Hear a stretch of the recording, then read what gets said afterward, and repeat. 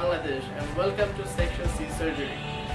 I hope you will like it because it's a very visual trick where a pill visually penetrates through the car.